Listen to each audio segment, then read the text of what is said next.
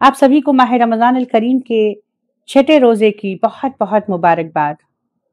ماہ رمضان جسے شہر الرحمہ کہا جاتا ہے، شہر المکرم کہا جاتا ہے یعنی خدا کی رحمتوں کا مہینہ، خدا کی کرامتوں کا مہینہ۔ تو چلیے، اس دعاؤں کے سفر میں اپنے دست سوال کو دراز کریں اور خدا کی بارگاہ میں اس کی رحمت کا سوال، اس کی کرامت کا سوال کریں۔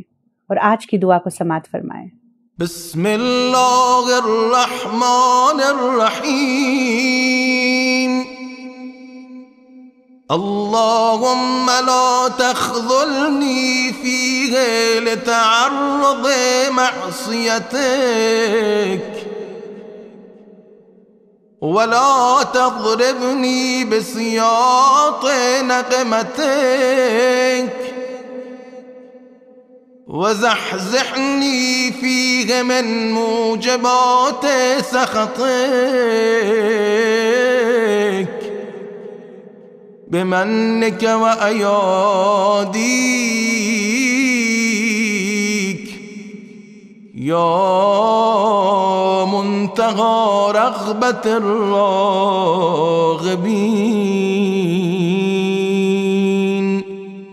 آمین یا رب العالمین الحمدللہ، بہترین دعا۔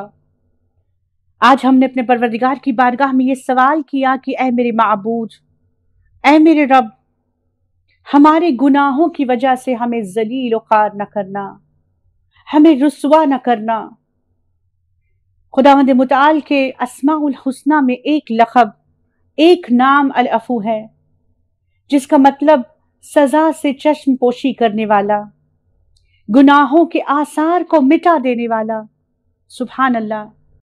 آپ صلی اللہ علیہ وآلہ وسلم ارشاد فرماتے ہیں کہ جب بھی بندہ خدا حقیقی توبہ کرتا ہے، دل کی گہرائیوں سے پورے وجود کے ساتھ اس کی بارگاہ میں توبہ اور استغفار کرتا ہے تو خدا اپنے بندے سے اسی وقت راضی ہو جاتا ہے۔ حتیٰ کہ اس زمین اور آسمان میں اس دنیا اور آخرت میں اس کے گناہوں کو پوشیدہ کر دیتا ہے۔ اور پھر آپ صلی اللہ علیہ وآلہ وسلم ارشاد فرماتے ہیں کہ وہ فرشتے کہ جو اس کے گناہوں کو درج کر رہے ہیں، انہیں حکم ہوتا ہے کہ اس کے گناہوں کو بھولا دیا جائے۔ وہ خطۂ زمین کی جہاں یہ گناہ ہو رہا ہے، اسے حکم ہوتا ہے کہ اس کے گناہوں کو چھپا لیا جائے۔ اور وہ آزا و جوار کی جس کے ذریعے سے اس نے گناہ کیا ہے، انہیں حکم ہوتا ہے کہ اس کے گناہوں کو پوشیدہ رکھا جائے۔ جبکہ قرآن کریم میں ارشاد باری تعالیٰ ہو رہا ہے، الْيَوْمَ نَخْتِمُ عَلَىٰ أَفْوَاهِهِمْ وَتُكَلِّمُونَ عَيْدِيهِمْ وَتَشْهَدُ أَرْجُلُوهُمْ بِمَا كَانُوا يَكْسِبُونَ۔ یعنی ہم نے ان کے منہ میں مہر لگا دی ہے۔ ان کے پیر اور ہاتھ ان کے گناہوں کے بارے میں گواہی دیں گے۔ روز قیامت کی جہاں ہمارے آزا و جوار ہمارے خلاف گواہی دیں گے، خدا اتنا رحمان، اتنا رحیم ہے کہ جب بندہ اس کی بارگاہ میں استغفار کرتا ہے تو اس آزا و جوار کو حکم ہوتا ہے کہ ان کے گناہوں کو بھلا دیا جائے۔ خدا اتنا مہربان ہے کہ اپنے بندے سے ایک ہی لمحے میں راضی ہو جاتا ہے۔ حتیٰ کہ آپ صلی اللہ علیہ وآلہ وسلم فرماتے ہیں کہ نبی موسیٰ علیہ السلام کا زمانہ ہے کہ جہاں خواہت پڑ گیا تھا اور نبی نے حکم دیا کہ عورتیں اپنے شیر خار بچوں کے ساتھ میدان میں آ جائیں۔ مرد اپنے گوسفندوں کے ساتھ میدان میں آ جائیں۔ سبھی نے مل کر بارگاہ یستی میں باران رحمت کا سوال کیا۔ آواز قدرت آئی کہ اے موسا تمہارے درمیان ایک گناہگار ہے۔ جب تک وہ تمہارے درمیان ہوگا، میں باران رحمت کو نازل نہ کروں گا۔ موسا نے بحکم خدا یہ اعلان کر دیا کہ جب تک وہ گناہگار اس محفل کو چھوڑ کر نہ چلا جائے، باران رحمت نازل نہ ہوگی۔ جب اس گناہگار نے یہ سنا تو اپنے چہرے پر پردہ ڈال دیا۔ زارو خطار گریا کرنے لگا۔ آواز دینے لگا کہ اے میرے مالک، بے شک میں بہت بڑا گناہ گار ہوں، مگر میں اپنے خطاؤں پر نادم ہوں۔ اے میرے مالک، کیا تجھے یہ گوارا ہے کہ تیرا بندہ کسی غیر کے سامنے رسوا ہو جائے؟ بس خدا کی بارگاہ میں اس کے الفاظ اتنے محبوب گزرے کہ خدا نے اسی وقت اسے بخش دیا اور باران رحمت نازل ہو گئی۔ اب موسا سوال کرتے ہیں کہ اے میرے معبود کسی نے اپنے گناہ کا اعتراف نہ کیا۔ پھر تو نے باران رحمت کیسے نازل کی؟ آواز قدرت آئی کہ اے موسا میرے بندے نے میری بارگاہ میں توبہ اور استغفار کیا۔ اپنے گناہوں کا اعتراف کیا اور میں نے اسے بخش دیا۔ بس موسا نے کہا کہ اے میرے پروردگار، مجھے اس کی نشاندہی کر تاکہ میں اس کو پہچان سکوں۔ آواز قدرت آئی کہ اے موسا جب چالیس سال میرے بندے نے گناہ کیا تو میں نے اس کے گناہوں کو پوشیدہ رکھا۔ اب جب میرا بندہ میری پناہ میں آ گیا، میں کیسے اسے رسوا کر سکتا ہوں؟ سبحان اللہ۔ خداوند متعال کا ایک اور لقب الستیر ہے۔ خدا ستار العیوب ہے جو سات پردوں سے اپنے بندوں کے عیبوں کی پوشی کرتا ہے۔ خدا ستار ہے اور آپ صلی اللہ علیہ وآلہ وسلم ارشاد فرماتے ہیں کہ ان اللہ ستیر و یحب السترا یعنی اللہ ستیر ہے اور یہ صفت اپنے بندوں میں پسند کرتا ہے۔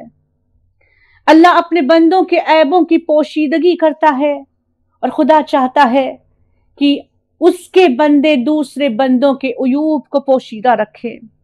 اور آپ صلی اللہ علیہ وآلہ وسلم ارشاد فرماتے ہیں کہ اگر کوئی انسان کسی دوسرے انسان کے عیوب کو پوشیدہ رکھتا ہے، گناہوں کو پوشیدہ رکھتا ہے، تو خدا اس دنیا اور آخرت میں اس کے گناہوں کو، اس کے عیوب کو پوشیدہ کر دیتا ہے۔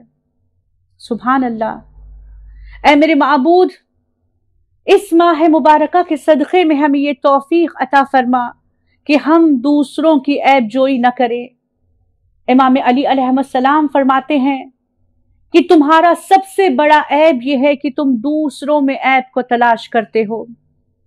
اور آپ صلی اللہ علیہ وآلہ وسلم ارشاد فرماتے ہیں کہ اگر اسی طرح سے تم دوسروں میں عیب کو تلاش کرنے لگو، ایک دوسرے کے عیوب کو ظاہر کرنے لگو، تو ایک دوسرے کو دفن کرنا چھوڑ دو گے اے میرے معبود، آج اس مبارک دن میں ہم تیری بارگاہ میں یہ بھی سوال کرتے ہیں۔ کہ ہم تیرے عذاب سے محفوظ رہیں تیری غضب سے محفوظ رہے آپ صلی اللہ علیہ وآلہ وسلم کا زمانہ ہے۔ ایک شخص پھڑی دوپہر میں، کڑکتی ہوئی دھوپ میں برہنا پیٹھ برہنا پیٹ زمین پر لوٹنے لگا۔ کبھی اپنے چہرے کو، کبھی اپنی پیشانی کو، کبھی اپنے پیٹ اور پیٹ کو تپتی ہوئی زمین پر رکھتا، آسمان کی جانب دیکھتا، ہاتھوں کو پھیلاتا اور کہتا کہ اے میرے پالنے والے، تو میرے گناہوں کو افو کر دے۔ پھر آواز دیتا کہ اے نفس امارا اس بات کا خیال رکھ کہ یہ دنیا کی مختصر سی دھوپ تو برداشت نہیں کر سکتا۔ تو آخرت کی دہکتی ہوئی آگ کو کیسے برداشت کرے گا؟ بس آپ صلی اللہ علیہ وآلہ وسلم نے جب اس شخص کو دیکھا تو اسے اپنے قریب بلایا، سوال کیا کہ تیرا مقصد کیا ہے؟